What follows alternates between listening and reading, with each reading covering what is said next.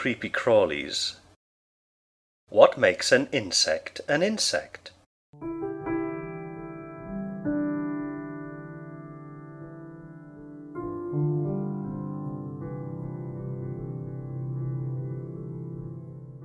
Many people think that any tiny creature is an insect, but they'd be better off using the non-scientific term creepy crawly.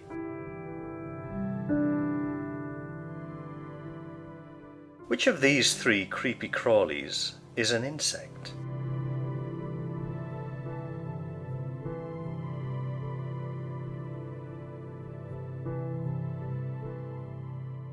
The one on the left is not an insect, it's a spider.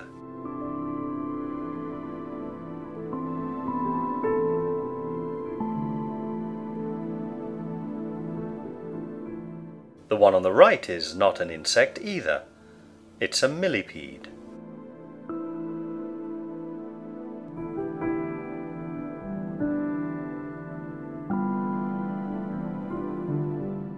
It's the one in the middle that's classed as an insect.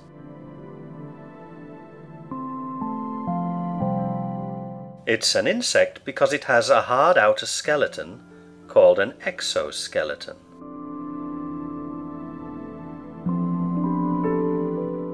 You and I have a hard skeleton, but it's inside our bodies.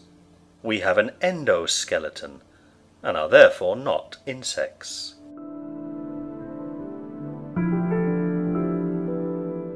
Insects' bodies are also divided into three main parts.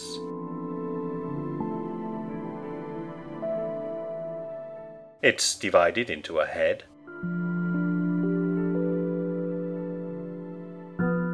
a thorax,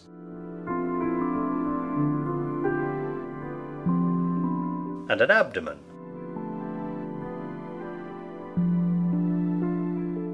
Indeed, the word insect comes from the Greek and means cut into sections.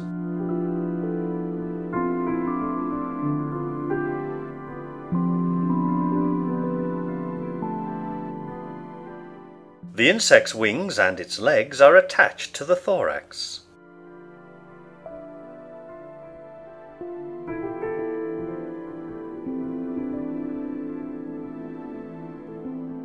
To be classed as an insect, you need to have three pairs of jointed legs.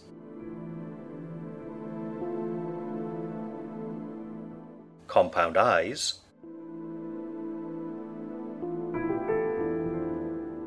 and two antennae.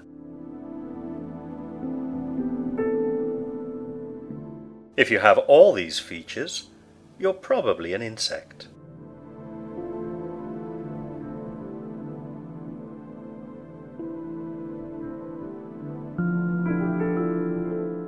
Insects don't have lungs to breathe with.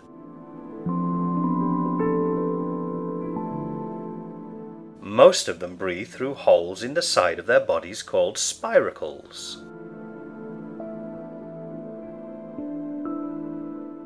Some of them breathe through their skin.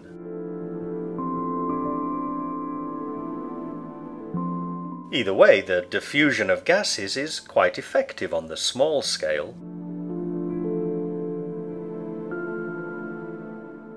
And this is why insects are small.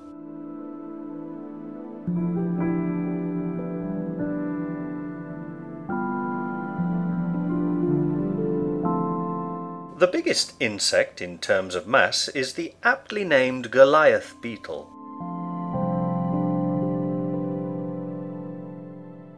This beetle can grow over 11 centimeters long and weigh up to 100 grams.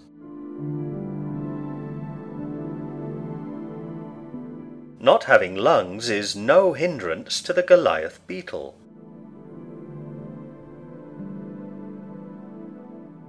It can carry up to 850 times its own weight, which makes it one of the strongest creatures alive, relatively speaking.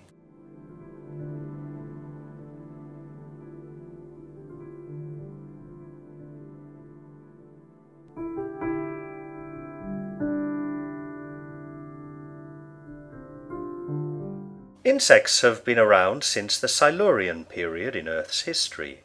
That's around 440 million years ago.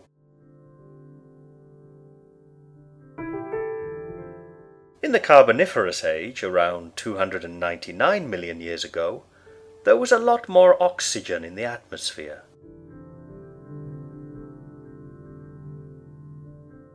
The more oxygen there is in the atmosphere, the more oxygen can diffuse into an insect's body.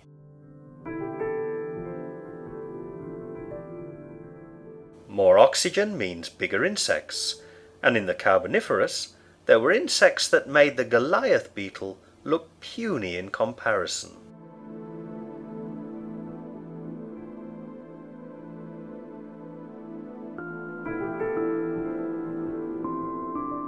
Dragonflies had a wingspan as wide as 50 centimeters.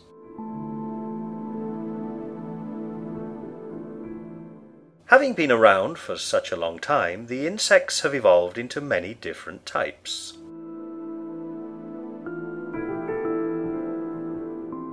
There are estimated to be anything up to 10 million different species of insect alive today.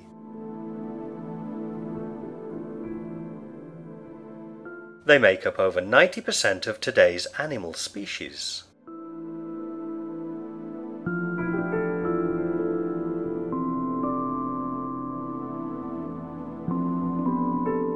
Some insects, such as fireflies, even produce their own light and have been doing so since long before Thomas Edison invented the light bulb.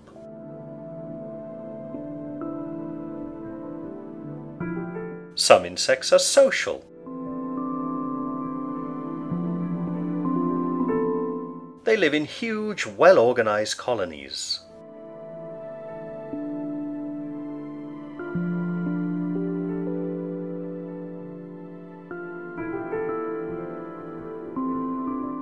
Ants and many bees and wasps are social insects.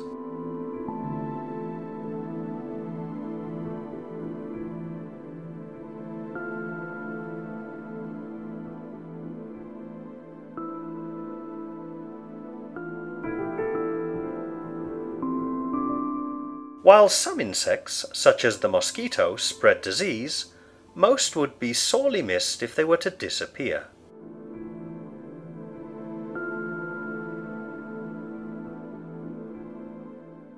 Pollinator decline is the reduction in numbers of insects which have evolved as the only pollinators of flowering plants. The misuse of pesticides, the destruction of habitat for intensive agriculture, the pollution of the air, and the many other ways human beings are messing up the world's delicate balance mean far fewer insects.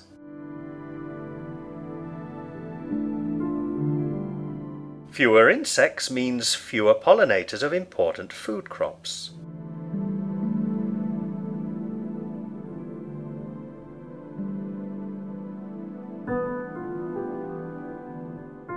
This means a reduction in food yield and possible global hunger.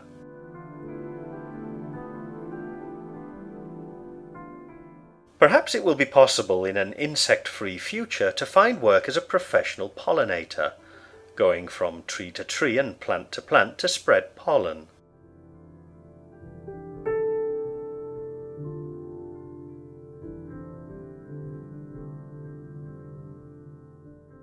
Mind you, if you don't have a head, a thorax, an abdomen, three pairs of jointed legs, compound eyes and two antennae, you're probably not going to be awfully good at it.